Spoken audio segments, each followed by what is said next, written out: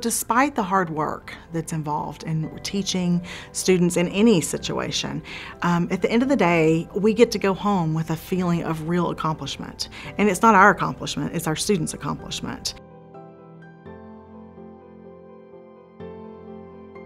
One of the most important facets of Green Oaks School is to teach our students with intellectual disabilities at the level of their need and interest, but it is also to make it so that they can be included in the community as seamlessly as possible. Arlington has been wonderful from the very beginning at embracing us, at embracing our students. Well, I started with Green Oaks School in 2001. It was the school's second year.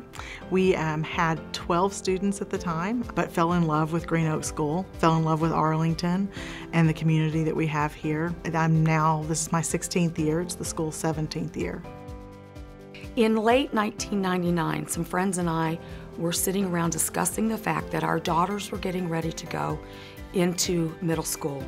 All three of those girls have Down syndrome, and it was a really scary thing. Middle school is scary anyway. And we thought, let's try something on our own. Maybe, maybe we can do this. We started looking around, and then we found the place here in Arlington, and we just have grown since then.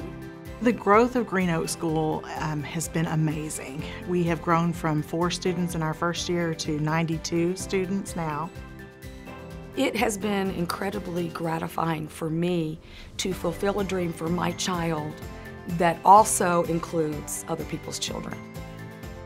The American dream is being able to live your life of purpose and meaning. Working at Green Oaks School has definitely been a dream come true. I'm Jean Jewell. I'm Lee Weedman. And I'm, I'm alive, alive, with, the American, American, dream. dream.